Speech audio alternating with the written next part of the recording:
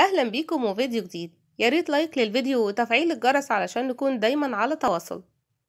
إصابة الفنانة غادة عادل بفيروس كورونا بعد إشاعة زواجها من مطرب المهرجانات حسن شاكوش ومجدي الهواري يتحدث عن حالتها الصحية.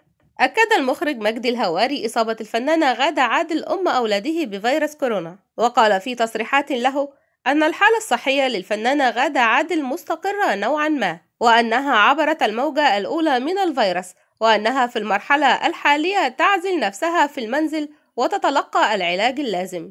وطالب مجدي الهواري جمهور الفنانة غادة عادل بالدعاء بالشفاء لها وأن تتجاوز تلك المحنة وتعود لجمهورها لتستكمل تصوير أعمالها. وعن شائعة ارتباطها بحسن شاكوش أعربت الفنانة غادة عادل عن استيائها. وكتبت غادة عادل عبر حسابها الشخصي قائلة حسن شاكوش فنان محترم ولقائي به لم يتعدى متابعتي لفقرته الغنائية وصورة فوتوغرافية.